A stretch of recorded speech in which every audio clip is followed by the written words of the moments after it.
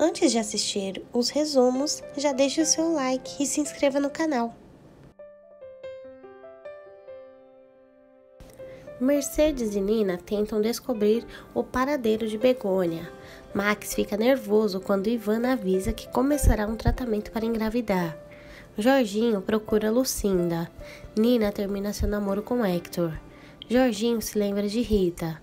Carminha exige que Tufão repreenda o filho. Por causa de uma confusão com Begônia, Nina vai parar em uma delegacia. Tufão pede para Jorginho se desculpar com Carminha. Hector tira Nina da cadeia. Carminha se encontra com Max. Leleco reivindica a presidência do júri no concurso da Garota Chapinha. Tufão e Mona Lisa se reencontram em uma reunião sobre o concurso. Suelen destrata uma cliente sem que Diógenes veja.